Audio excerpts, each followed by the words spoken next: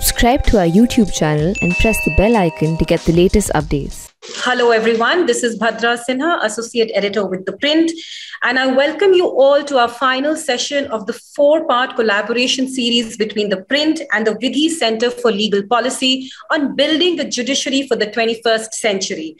This series draws on JALDI's extensive empirical research over the last few years with over 30 reports. Jaldi stands for the Justice, Access, and Lowering Delays in India initiative at Vidhi. So today's session, in today's session, we will focus on transparency and protection of privacy in judicial functioning. And to discuss this, we have former Supreme Court judge and eminent jurist, Justice B.N. Krishna, someone who definitely does not need any introduction. Justice Krishna has headed several high profile commissions, including the one that inquired into the 1992 Bombay riots. In July 2018, a panel led by him submitted its report on the issues related to data protection. Our second panelist is Arghya Sen Gupta, who's the founder and research director at Vidhi. Mr. Sen Gupta has served on a number of government committees, including the Justice B. N. Sri Krishna Committee of Experts on a Data Protection and Framework for India. And we also have with us uh, Prashant Reddy, who was a senior resident fellow with Vidhi and is now a practicing lawyer. So I'll, um, my first question is actually for Prashant. Uh, Prashant, you know, our Indian judicial system is probably the world's largest and the busiest, yet there is very little known about this institution. And even though our courts have over the years advocated the need for transparency and other pillars of democracy but when it comes to its own functioning it has resisted the same. Even when it comes to sharing of granular data regarding pendency uh, you know pending or disposed of cases has this opacity affected the justice delivery system in our country? Uh, thank you for that question Bhadra thanks thank you for having me on this on the show uh, yes, I think I think I mean that uh, you, you hit the nail on the head with this, the first question. The biggest problem today with uh, you know studying the judicial system or proposing any kinds of reform is the lack of granular data. So, for example, when we're talking about uh, say pendency of filings before the before the Indian judicial system, uh, we don't really have enough data on you know, district-wise uh, pendency data in terms of what exactly are the types of cases being filed. You know, because a check bouncing case is going to take uh, you know much shorter time than say a murder trial or a terrorism trial. So you need that kind of granular data, and you need we need to have simple data on how efficient judges are at various levels. That is, and the judiciary does collect this data uh, because of the way the ecosystem is designed, they could easily put out figures of you know how different districts are uh, are performing in terms of disposals and filings, etc., etc. Once you have all that data, you know which parts of the country are lacking because it's a myth that the judiciary is failing across the country. I think there are certain areas where they do, certain areas where they don't. But only if the judiciary releases this kind of granular data can we identify the trouble spots and try to fix them with you know more funding or more judges okay uh, so uh, you know Arghya we keep talking about uh, technology and, and and you know embracing of technology in the judiciary uh, although uh, i think the system the institution has uh, made efforts to embrace technology and there is a mountain of untapped data available now. But do you think, in I mean, do, in your view, do you think the institution has tackled the two crucial issues, uh, you know, that have hobbled the rule of law in India, that is judicial accountability and dissemination of legal information to citizens. Um, if I remember it correctly, you know, this this aspect has been pointed out very clearly even in Vidhi's report on open data policy. Yeah, Bhadra, I think uh, this is a very complex question as to whether the judiciary, through its data, has tackled the issue of accountability and dissemination of legal information. But let's take it one step at a time. Let's take dissemination of legal information first. First, dissemination of legal information is primarily the function of the National Legal Services Authority and the State Legal Services Authority. Now, that is a collaborative effort of the government as well as the judiciary, because the usually the uh, second senior most judge in the Supreme Court is the chief of the National Legal Services Authority. And do the legal services authorities function well? I think any reasonable observer would say that they don't function well at all. Uh, any lawyer as in, who is asked to do a legal aid matter as in might do it grudgingly, but will do it well knowing that they will not get paid, it will not be professional. It's not a well functioning system. So some welcome steps are being taken in terms of making legal aid more accessible, uh, but there is a long way to go as, as far as dissemination of legal information is concerned. And I think for that, the judiciary is certainly partly complicit, but this would not lie only at the judiciary's door because legal aid, uh, at the end of the day, as it is uh, a responsibility of the government as well. As far as the question of judicial accountability is concerned, I think the National Judicial Data Grid is a great start. The judiciary collects a lot of data and, and it puts the data out there uh, for all researchers to use and see and to do things with. And I think transparency is really the bedrock on which any accountability system is based. So, number one, I think with the National Judicial Data Grid, as in a great step has been taken by successive e committees of the Supreme Court. And I think the National Judicial Data Grid will remain the foundation for judicial accountability. But could more be done? Of course, more could be done. Uh, and as Prashant also pointed out in answer to his question, there is uh, in answer to your question that there are lots of data points that I think would be particularly useful. Uh, and I'll only give you one example. Yeah. Uh, judges at the end of the day are funded because of tax through taxpayer money. So let's look at the district judiciary and lower to begin with. Why is there no publicly available data on performance evaluation of these judges?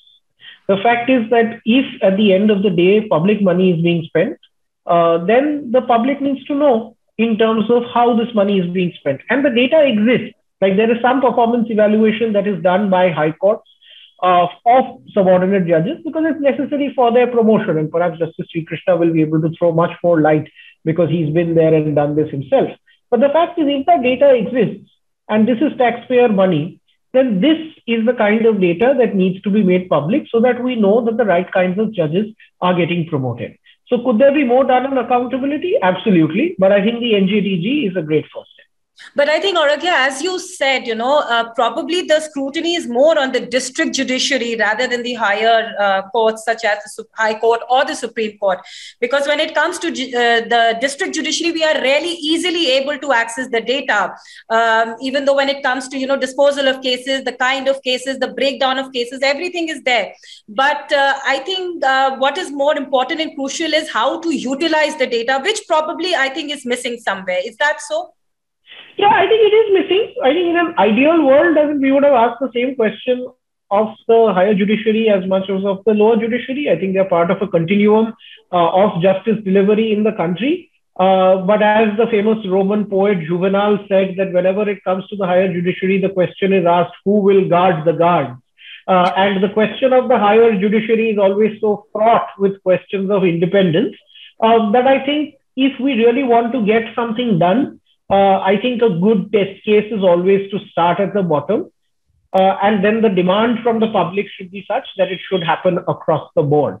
So my sense is that uh, it should certainly happen as an across the board, as in the judiciary. But when we go to the higher judiciary, we must proceed with caution because there are some very legitimate independence questions. Because if this performance evaluation exercise is done by the government, then of course you'd feel i mean everyone here would say no that's not an exercise that should that should happen.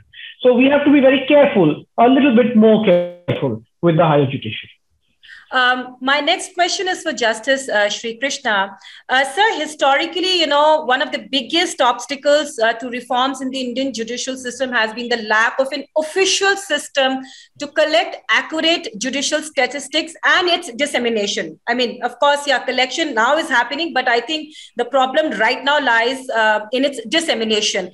So, over the last decade, Indian academics and uh, have consistently complained about it way back in 2004 before eminent jurist Mr. Fali Nariman had in fact introduced the Judicial Statistics Bill in 2004 in the parliament to create a national and state level authorities for collection and publication of judicial statistics.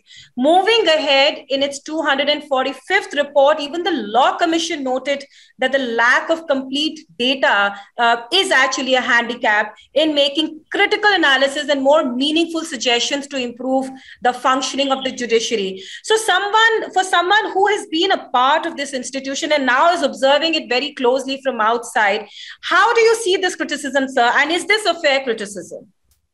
Uh, the criticism is, like the Vaika said, partly true and partly not. Okay. To say that there is no judicial uh, statistics is not correct. I've been a part of two high courts, one as a Chief Justice also, and in the Supreme Court. Data of all kinds is collected. On the second part, whether it is disseminated voluntarily, I must confess it is not. Although the Supreme Court does provide a some kind of a yearbook publication in which there is a lot of statistics given of disposals of the Supreme Court. I just want to intervene. It's it stops. sir. it earlier used to come. I remember a hand you. It's not. It doesn't come now. I'm sorry. I, It's, no, it's not as regular as it used to be earlier. So you may be right on that because I have not kept up with that. All right. now, at least as a, a judge of the High Court of Bombay, as well as the Chief Justice in Kerala, I had seen that when people came and asked for um, data for research purposes and statistical analysis, we did give them. The only thing is, there is some kind of a suspicion. Now, if you come and Bhadra comes and Print India says, oh, no, no, no, this lady is going to make trouble for us, he'll not go. But probably if Vidhi comes, we'll say, all will give him because he's coming out with some kind of analysis. See, the point is, it, it, the RTI thing is a little dangerous because what is it that is going to be used for? If it is research and analysis, fine. But if it is just plain criticism, then the answer judge will say, no, I don't want to get into this at all. Therefore, to say that there is no collection of judicial statistics is not correct. Because as a judge or administrative judge of the Bombay High Court, I've seen we do collect a lot of information. In fact, from uh, 1963 or so, when computer, in fact, I was in charge of computerization of the Bombay High Court, so I know all statistics is fed into the computers. It is available in various report forms as the Chief Justice wishes. And uh, Arghya was right in saying that it is used for evaluating the performance of the judges. Now, whether this evaluation that is made by the Chief Justice and the administrative judges is made available to the public, no, it is not. There are several reasons why it is not. Now, if you want to look, the whole difficulty is this. Now, take a case like your uh, Aadhaar case, uh, which went on and on and on in the Supreme Court and runs into some thousand paragraphs or thousand pages or something like that. Now, writing such a judgment does not give you an idea of what exactly the, the efficiency coefficient of the judge. A judge may be able to write one judgment in entire month, or he may be able to write 20 judgments in a week. Now, if you're counting numbers, that is no real test of a judge's efficacy. Therefore, how do you judge it? Now, to the lay public, it will appear Justice Sri Krishna has written only one judgment in his entire tenure of five years in the Supreme Court. Whereas another man produces 25 judgments in a week. So multiplied by five years, he will have a number. Therefore, do you say that that man is more efficient than me? What kind of judgments has he produced? Therefore, this is not an easy question of saying so many mangoes that I produce, therefore I'm, I'm a good uh, agriculturalist. It requires a little more critical analysis of the quality. Now, how is the lay public going to adjust, adjust the quality? Or for that matter, anybody other than a judge going to adjust the quality of a judge? This is one of the biggest issues that confront the judiciary. It's not like, say, Maruti produces 1500 cars, somebody else produces 2000 cars, therefore that is better. No, sir, it cannot be done that way.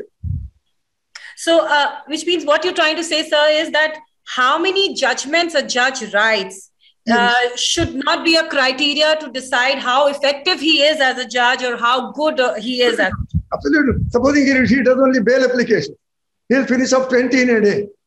Whereas I'm doing some serious appeals. I can't do it for the whole week, I will do only one. Therefore, am I a bad judge? How do you determine this? Therefore, it, I, the solution lies elsewhere. The solution is not simply putting in the public and say, here, take a look at it.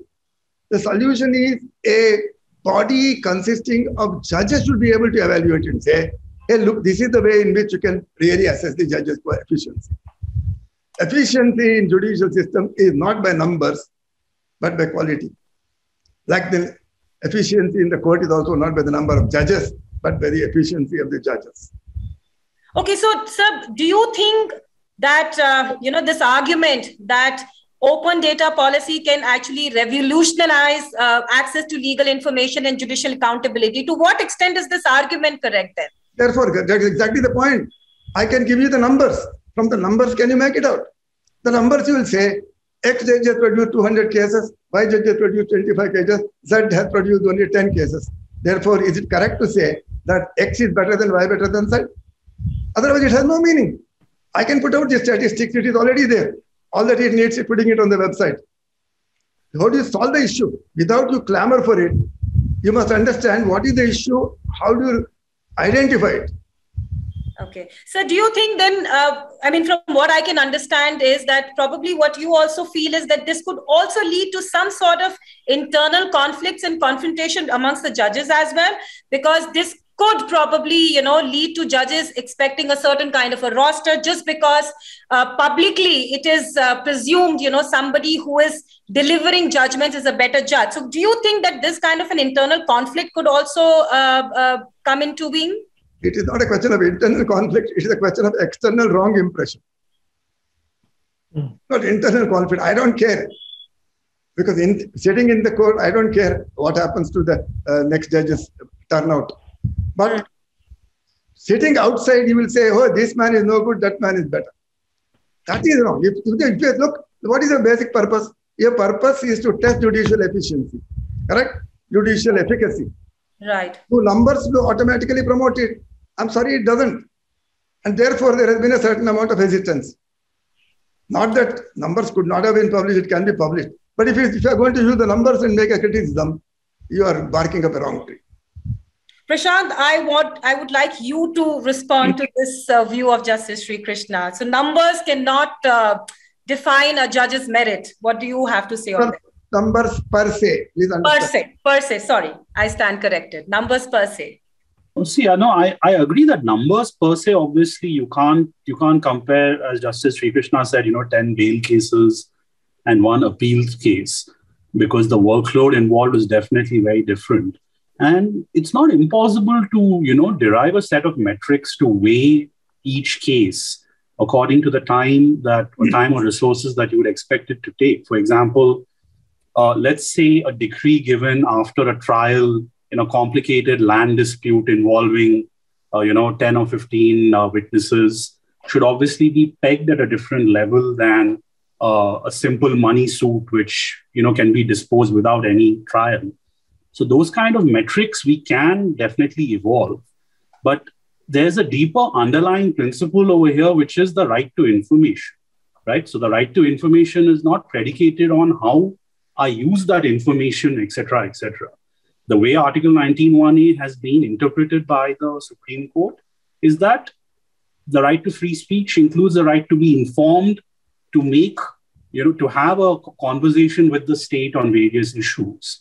So I don't have to justify what exactly the data is going to be used for. The state bears a responsibility to disclose that data.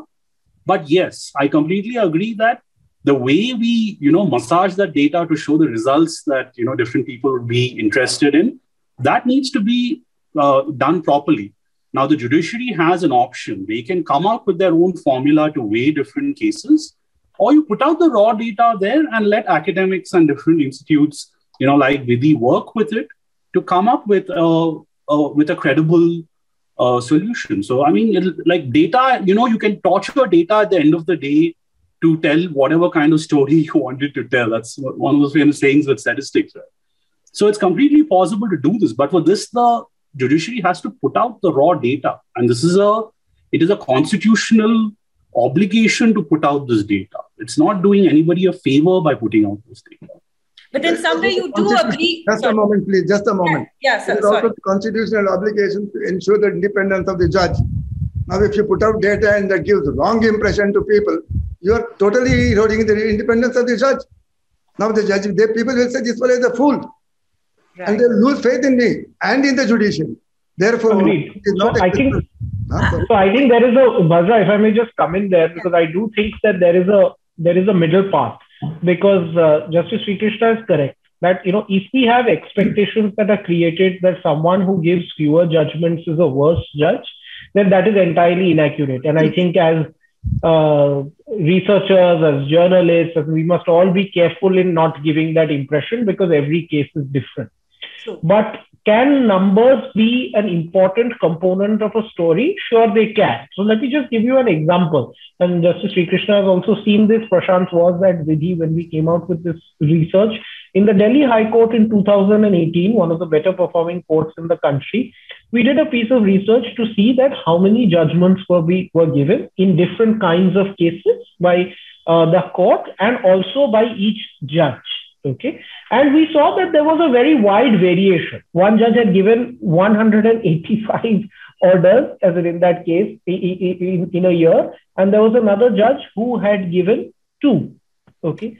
Now, when you see, and I don't want to take names here, but when you see that the types of cases that these people are hearing, and when you see that the judge who has given two orders is actually hearing simple criminal applications, in it could be some bail applications or so could be some other application, you know that there is obviously a case here of a particular outlier who is perhaps not performing very well.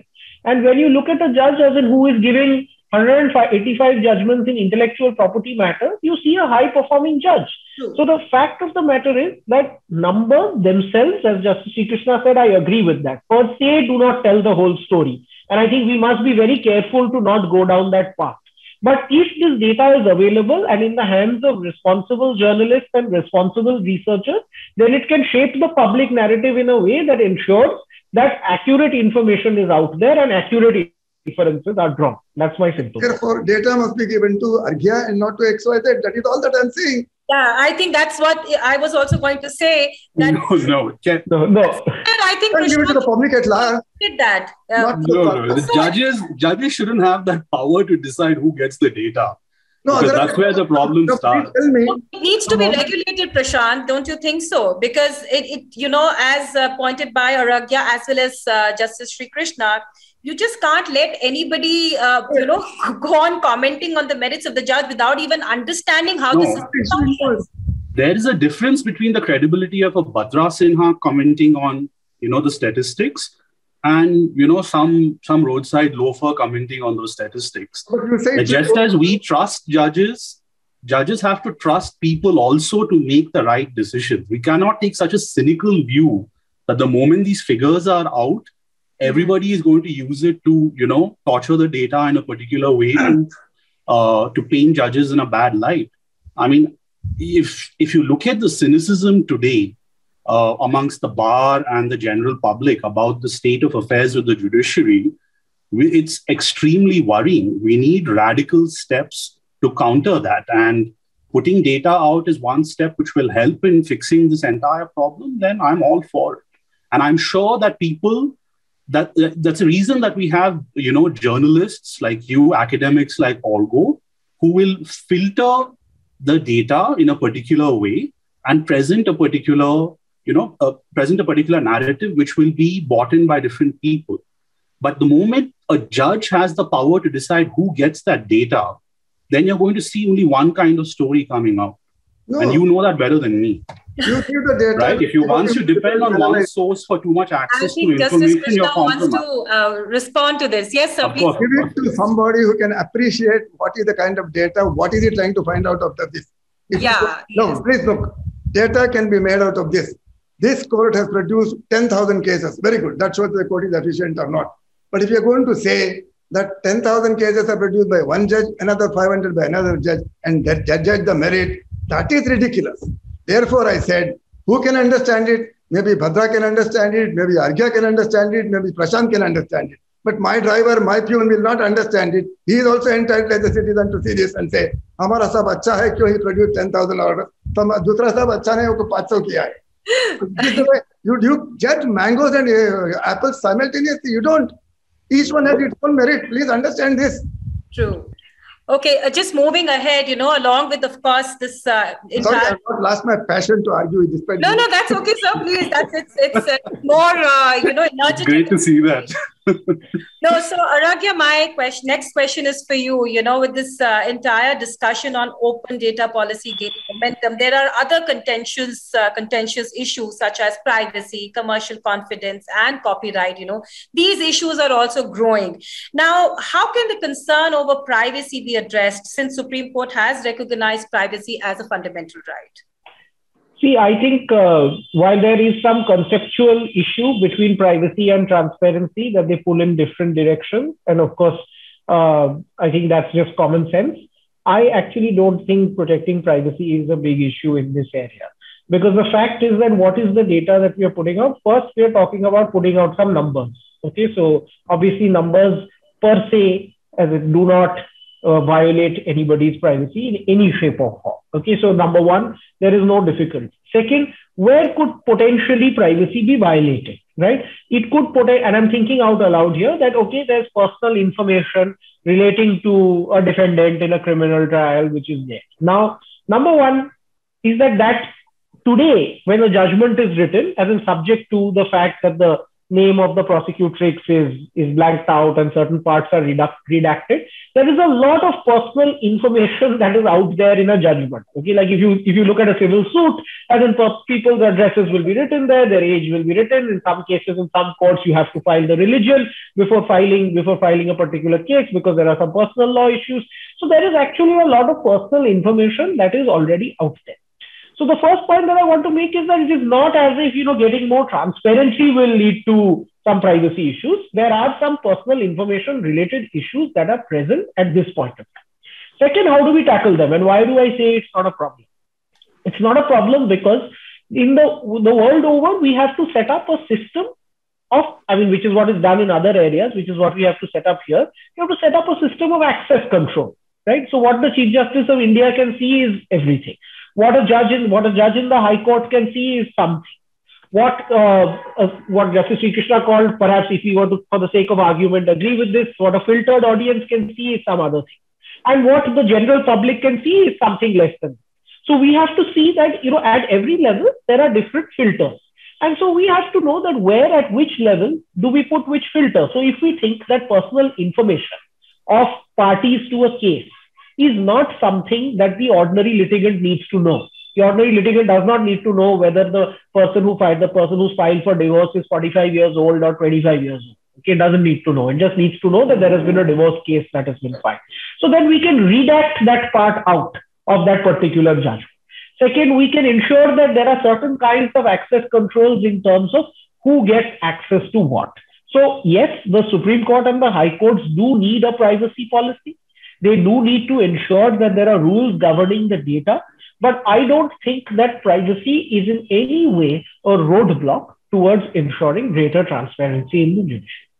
Prashant, I want to ask you a question. You know, how do we tackle all this uh, amidst this growing demand of right to be forgotten? Because of late, we have seen certain cases coming to the High Court, uh, High Courts, uh, where litigants are demanding, you know, that their rights should be the, the right to be forgotten. In the sense, if somebody has been acquitted, they're demanding that the particular judgment should be taken down where it, you know, it was shown that the person was convicted. So, you know, with these growing voices now, so how do you uh, make sure that you know this this aspect is also really uh, taken care of? Yeah, yeah, because this is a this is an important question. It involves not just the judiciary, but even you know journalists. Because uh, the next step is they're going to go after uh, newspapers and news websites, asking them to take down stories where they have reported on court proceedings. Yeah. Now, again, uh, you know, the, the Indian judiciary for for uh, since time immemorial has always uh, had an open court principle that is all proceedings shall be conducted in the public domain and uh, uh, reporters or whoever the common man can come witness those proceedings and take down a keep a recording of them. Uh, what's changed all of this is obviously the internet which has uh, you know has an infinite memory. And once you reduce something to a digital record and place it online then anybody and everybody can access it. Uh, I am not in favor of the right to be forgotten with respect to official records especially judicial records, uh, because that in the long run, I think will start compromising, uh, you know, the truth, will start compromising the, the, the workings of the entire system, because you're going to have all these judicial records with big holes in them where you can't explain what exactly has happened. And I think if you want to maintain the confidence of people in the legal system, the integrity of those of judicial records is critical, and that should not be uh, deleted because, as I said, it's all based on the same principle, right? It's all connected to the right to right to information, right to speech.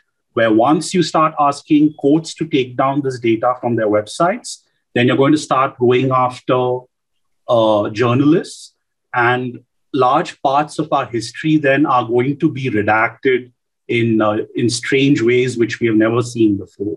So I would say that I mean even in the past today you can you, you can access judgments of people who have been convicted for murder say 25 30 years ago. That's the price of living in a democratic society. I don't think that data should be removed from the public domain in any which way.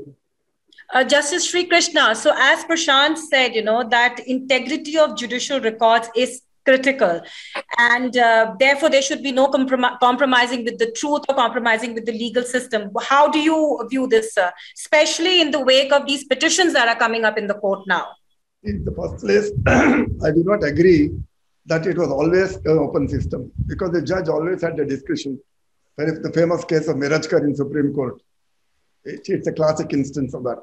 Always to say that in this case, I will not permit anybody other than the, the, the parties and their counsel to stay and watch the proceedings or direct that none of the parties' names will be reported. This happened. Now, the question is, let's say, um, first of all, I agree with uh, uh, Prashant that what has happened has happened. Now, you can't say that Babur did not build, um, build that uh, mosque just because people have demolished the mosque today and say the Ayodhya judgment has come about. That is a fact of history which, must, which we must recognize. And sometimes factual uh, aspects of history are relevant. For example, if you are analyzing why a person was acquitted in a criminal trial, you must necessarily have access to the original conviction order. Yeah. And then in the statement of, you can at the most say X against Y or A against Z. That you can do. But you cannot wipe it out. Okay.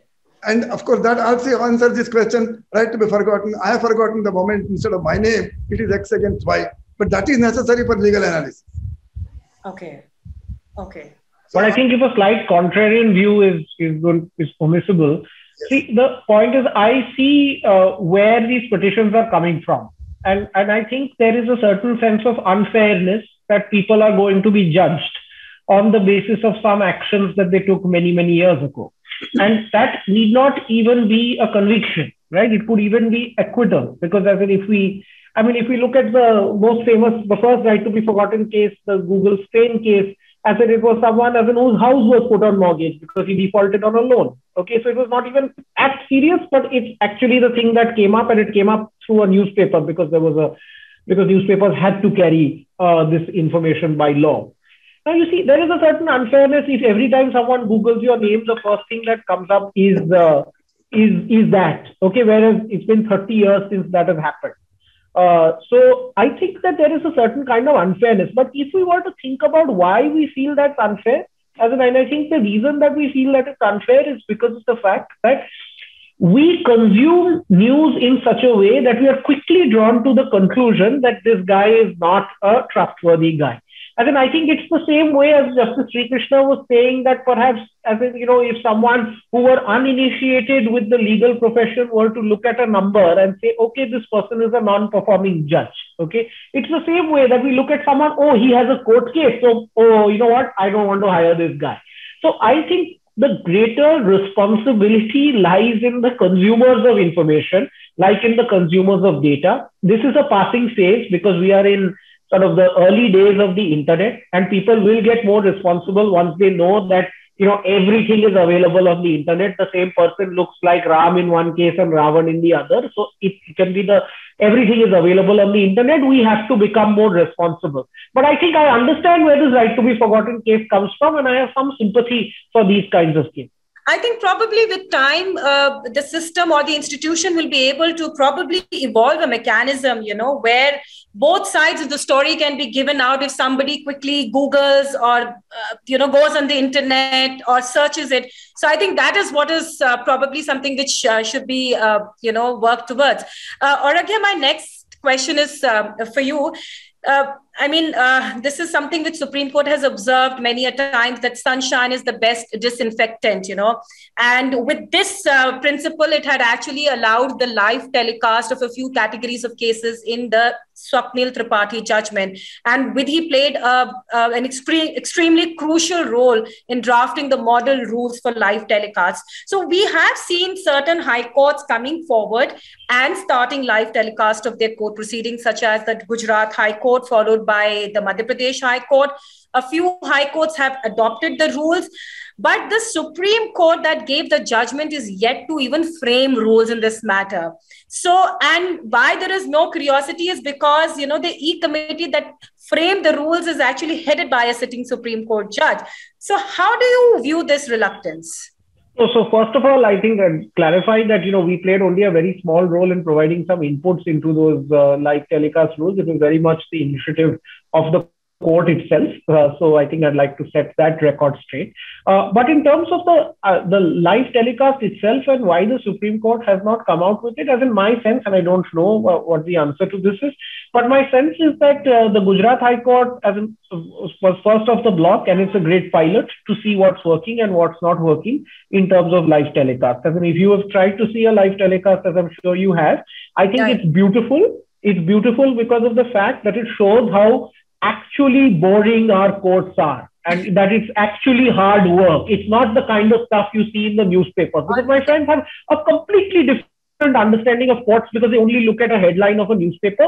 But I now tell everyone, please go on to Gujarat High Court's YouTube channel and please see what courts are like and what work actually goes on because it's actually a very realistic account of what happens in a courtroom day to day. So my sense is that the Gujarat High Court has been the leader of the pack as in, in trying to get this on.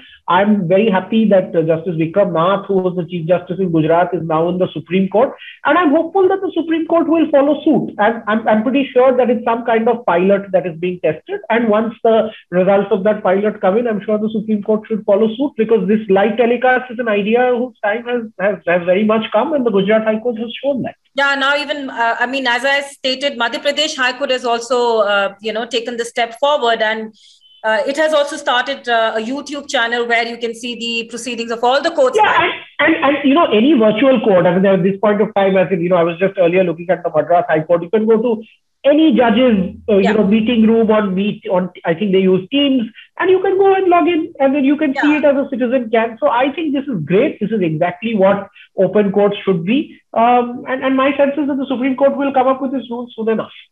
I think, uh, with the, of course, due to COVID, uh, they did, they have in a way started live telecast. I won't say it's an open live telecast, but the fact that they developed an app and now they allow a journalist also to view it uh, through that app it's not important for journalists to you know go to the uh, courtroom physically so i think to some extent they have opened up but yes fully for the public is uh, i think still a long way prashant how do you see this reluctance I, I, mean if i could have your views before i can ask a question from justice Sri krishna well i think i think you know the, the, the way the Supreme Court went about it wasn't uh, wasn't correct because there were three judges sitting on the judicial side who passed a judgment for the entire court. But mm-hmm. if you see the way the Supreme Court generally works, traditionally is a call like this would have been should have been taken by all judges at a full court meeting. So despite Justice Chandrachud, who is now who passed the Swapnil Tripathi judgment, and he is the chairperson of the E committee he yeah. still can't get this going. I, I don't know the actual reason, but my guess is that there are some judges who are not completely on board with the idea. So I think what's required is more pressure from journalists like you uh, on the Supreme Court to make sure that they open up their uh, their courtrooms to the entire country. Yeah, well, I hope we are able to convince them. We are definitely trying. I know how difficult was it you know, for all of us to get this even app access. Um, uh, sir, Justice Sri Krishna, sir, my question to you is that uh, you know, don't you think that Indian judiciary has actually lost out on preserving its rich legacy and history by opposing live telecast of court proceedings? I mean, they have never even done an audio recording recording of the significant cases and pronouncements. I think for law students, of course, there are textbooks, so you do get textual knowledge. But you know, don't you think a visual record would have actually helped them to understand an equally important aspect of the legal pro- profession? That is the art of court craft you know to actually now be able to see uh, how mr ram Malani used to argue in the court at some point of time. Your concept this is like you know children saying is a new toy new toy i want this i want this. Please understand court proceedings are not as glamorous as they show you on the bollywood movies. Now have you ever attended a court a city civil court or a district court where accounts are being challenged, where land records are being challenged, I can assure you, uh, I'm not, I don't want to say you, the person covering it would be bored to death. Now imagine that being shown on the TV every day. As it is, we have enough problems on the TV being shown every day. Actually, there is more excitement, even for fake excitement, on the TV at nine o'clock. You don't expect that in a courtroom. Definitely and not, sir. I totally agree. All the judges are not as, as handsome as Arghya is. Some of them are as ugly as I am. They're, they're are not just looking at. Uh, sir, I'm anyways not talking about Arghya. I'm talking about somebody like Mr. Ram Malani, you know. Right, very good. Now, have you ever heard Ram Malani? Used to be very, very enthralling. I, I, look, I know Ram Malani personally well. He has appeared in my court a hundred times. Yes, yes. Now, Ram Malani's greatest thing was his ability to analyze constitutional issues, yeah. his ability to analyze criminal yeah. issues, and his ability to cross-examine witnesses. Now, in the Supreme Court, none of this happens. The Supreme Court takes only legal points. And if you had seen Ram Jethmalani arguing a legal point in the Supreme Court about the original side rules of the Bombay High Court, you would be bored to death. there is no point in showing that. Now, actually, Arghya, I want to check on this. Are all courts on TV in America, in England, in Germany, anywhere in France? So what is? No, I mean, no. The only the Supreme. So who no, decide, who Supreme Court. So the judge, the court will decide which should be televised. So why should everything be televised? It's boring. I'm telling you, people don't understand. Bhadra, have you sat in a court where a trial is take place, which deals with all kinds of mundane matters? No, so I have, I have, I have attended, and I, uh, frankly speaking, many a times even gone off to sleep. Correct. So they just pulled you off. I have had it happening in my courts. I tell them that if you want to have an app in the, of course, one thing is it's air conditioned, so people are inclined to sit there. Yes, yes, yes. So therefore, it is it is not a matter of uh, glamour to have it televised. I can understand something like Tilak trial could have been televised. I understand. Mahatma Gandhi's uh, uh, trial could have been televised. Now, uh, now A versus B film star. Why should it be televised in the first place? What is all? What is your interest in A versus to be whether he slept with C or not. You know, my question is not from the perspective of the public, but when I talk about law students, you know, aspiring lawyers, for them, uh, I'm I'm uh, basically concerned about them. Uh, you know, uh, having an audio or a video record could have actually given them some sort of a learning experience. They can do, but taking them to the court actually no, of course, that is happening. Now that has started happening, sir. I'm talking about the past, you know, like, of course, the Swapnil Tripathi judgment came now. Also, it was available, but people did not make use of it. Who said public was allowed in every courtroom? Of course, subject to capacity. Sir, but we need reluctance on the part of judges to use audio system, sir. As youngsters, I have attended Ram Jethmalani's cross-examination in the Chief Presidency Magistrate's Court in a defamation case. The brilliantly done. I picked up things from him. Mm-hmm. But that was not televised.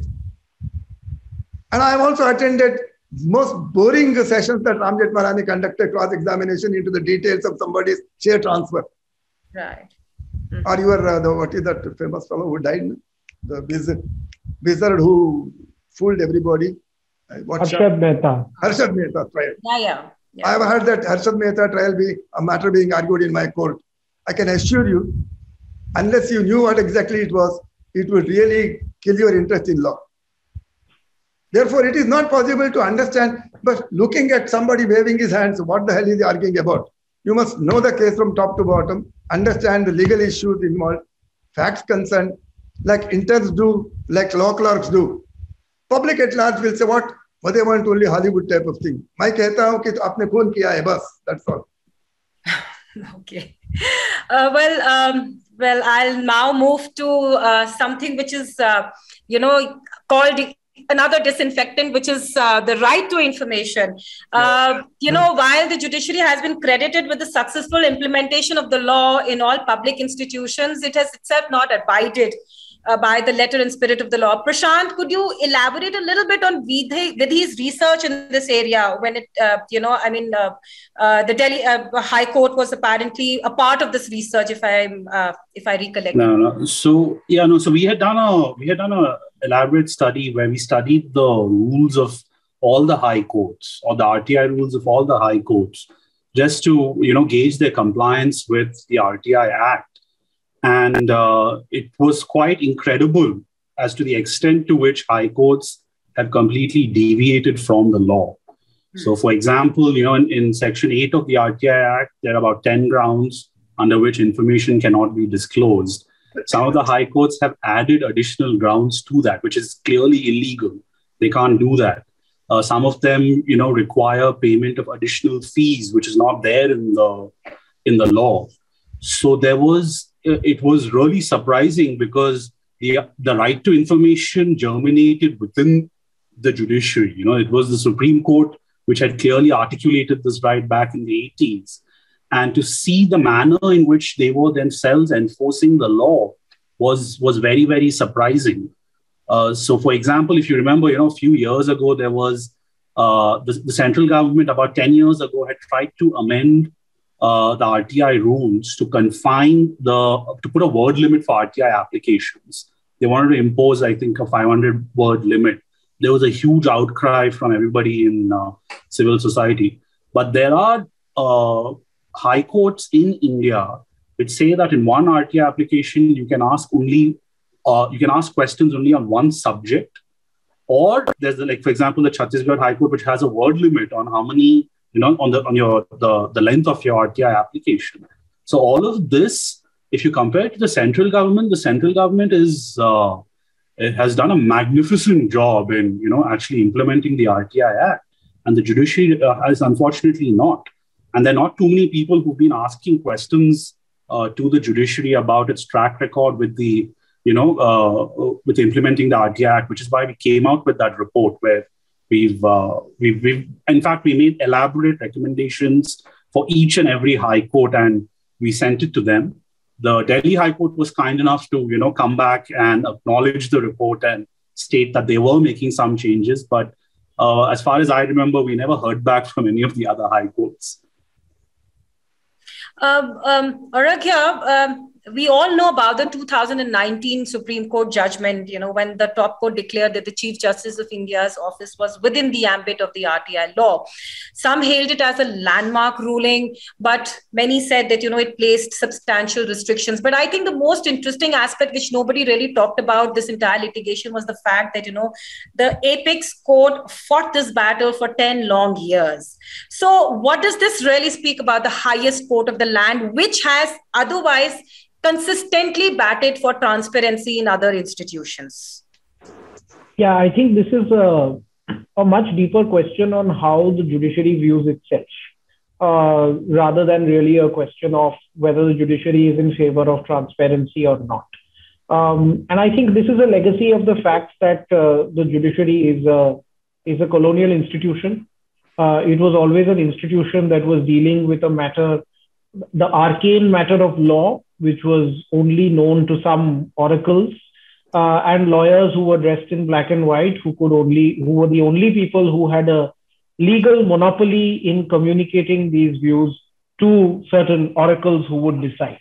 And I think what we see today, as in 70 years down the line, we've been a republic, but we have to realize that we are a young republic. We are a young post colonial republic, and we have not shed these colonial trappings.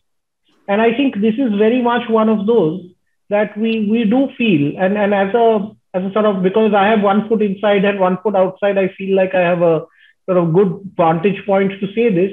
As in the fact is that the judiciary still, as an of at least our institutions of state, as in remains outwardly extremely colonial. As in these are very imposing buildings that you're in in every state capital. Uh, you've got liveried bearers who are who are who are with you. I was told once in the Karnataka High Court in a corridor when I was in college to look down not to look Yeah. at eye level because the judge was passing. Mhm. Uh, and I couldn't believe it. I, I, I genuinely couldn't believe it, and it continues to happen in most places. Uh, and, and, and the fact is that, uh, and I realized that there's no point in getting angry, but the fact is that it is it is an institution that is that is trying to shed its colonial trappings, but at this point of time, as it still feels that you know there is a there is a certain kind of wisdom that is exclusive to it. So I think the why the court resists uh, uh, resists this uh, the application of the RTI to the office of the Chief Justice for 10 years uh, is, is exactly the same reason as to why lawyers, particularly even in the heat of the Delhi summer, in the survey that Prashant team did, still want to wear black and white. It's exactly the same that you want to think that you're somewhere, you know, not at the same level as the citizenry. And I think it's that feeling. That feeling is diminishing. It will diminish. As in, we are a we are a post-colonial republic. We are heading in the right direction uh, but it's going to take time. And, and so I think that's why 10 years, I, I, I would take that at any point of time because it's the right judgment. As in, I'm glad about the fact that they ended up coming down on the right side. It is the right judgment as a matter of law that the Chief Justice of India should be under the ambit of the RTI Act. Um, and I would say better late than never. Justice Sri Krishna, so judiciary has not shed these colonial trappings. What do you say about it, sir? the trappings are there in every profession. Now, the Indian Army has its own olive green. They march 50 miles in a day wearing 25 kgs. They are also sweating. They don't ask for air condition. Do you grudge them? Why the hell do you grudge lawyers? They are in the inside, at least in Delhi, in Bombay, they are inside an air conditioned room. What are you really talking about? Let's talk about the quality, not about the dress. Mm-hmm. And look, dress, oh, there is a very famous saying. You know, Arghya, I must have told you sometime that, and what is this? Kim vasasa tatra vicharaniyam vasa pradhanam khalayogyataya. So somebody says, why should you bother about dress? The answer is, dress is the one that determines your yogyata, your, your status. Why? What did uh, Bhagwan uh, Himalaya do? Himalaya saw Shankar, who was Digambar. So he gave him and make him stand there in that. As far as um, Vishnu is concerned, Samudra Raj gave his wife in, as a, sorry, his daughter as his wife. No, apart from what the Puranas tell you, the question is simply this. Every profession has a certain amount of mental attitude which is generated by its physical accoutrements.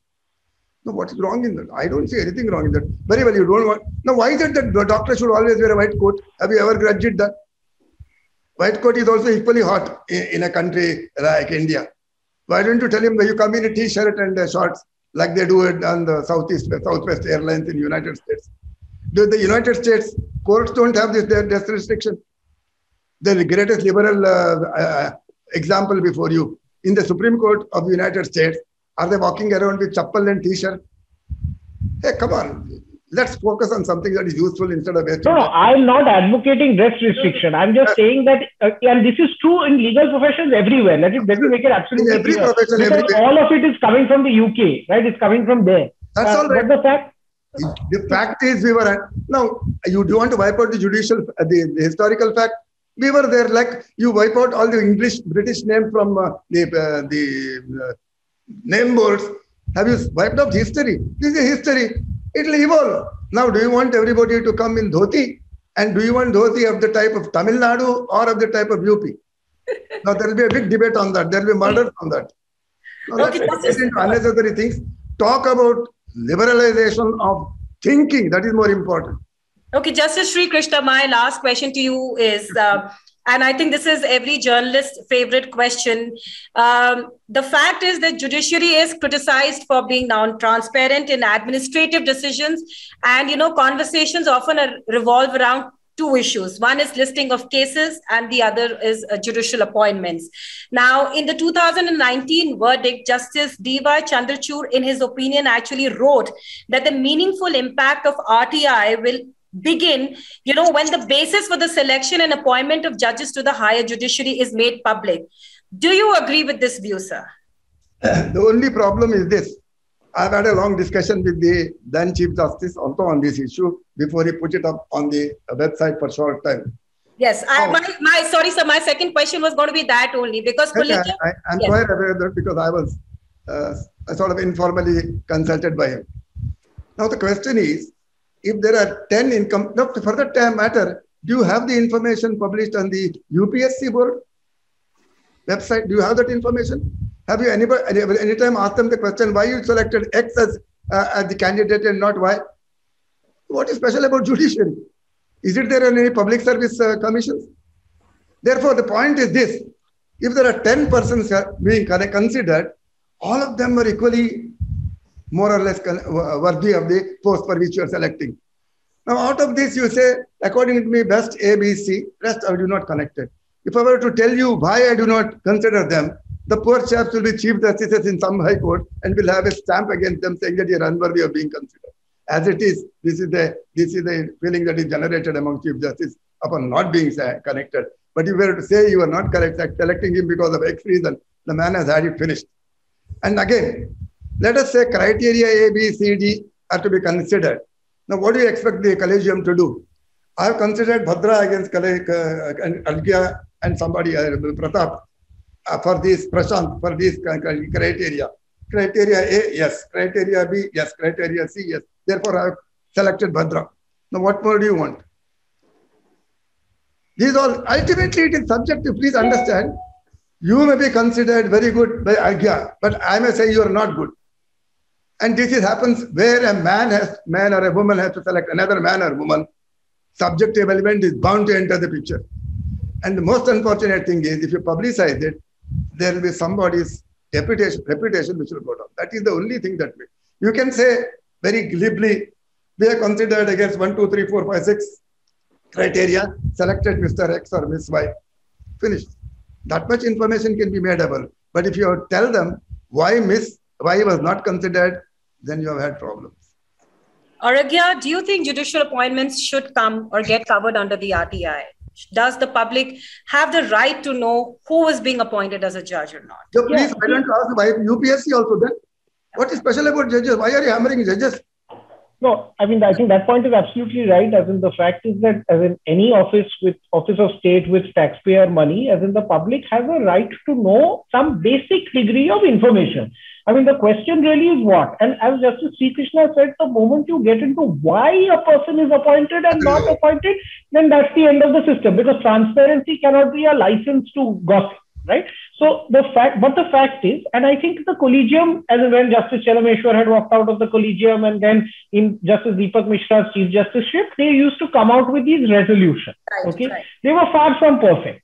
Okay, but in my view, they were a great start because all that they were saying is that we considered on the basis of ABC criteria, we consulted ABC people, and we came out that one, two, three are the people we selected. They, of course, did say that we considered one to 10 and selected one to three. That's what they said. But my sense is that that basic degree of information is good because it shows at least the process that has been followed and why someone has been selected and not other. And to that extent, I think we have to, at the end of the day, trust the judge. Okay, because the fact of the matter is that at some point of time, that questioning has to stop but you have to have and you have to follow clear reasons as to why transfers are done, why appointments are done. And unfortunately, that collegium resolutions, which started in 2018, stopped sometime in 2019 and don't continue at all, except to say that so and so has been appointed. Okay, which is really not a not any kind of reason, which is actually in breach of the collegium itself.